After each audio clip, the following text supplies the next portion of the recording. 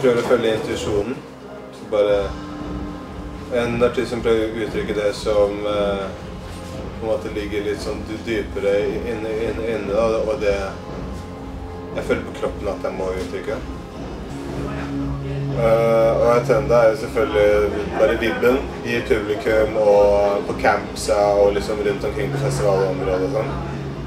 Uh, og det deiligste med å stå på scenen er jo den samme vibben, bare at du får den eh, i mye større grad retta mot, mot deg. Da. Og får den kjærligheten. Så det er deilig.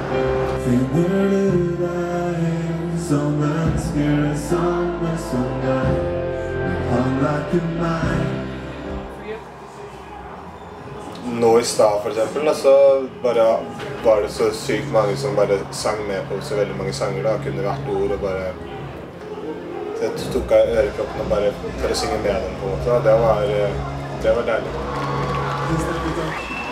Perfect. Well done. I think we're good. Ja, Lovely. deilig.